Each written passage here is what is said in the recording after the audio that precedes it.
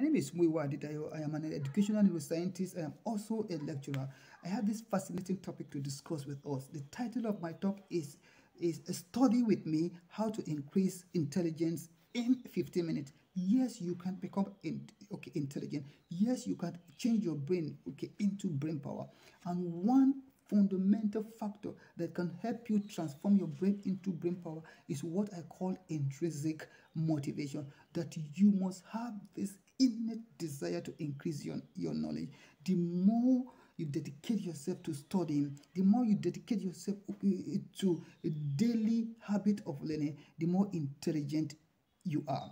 Because there's a way that your brain okay becomes a plat that, that, that your reading alters your brain and you become super intelligent. Okay neuroscience has proven it that when we read there are changes that occur in our brains. Uh, thank you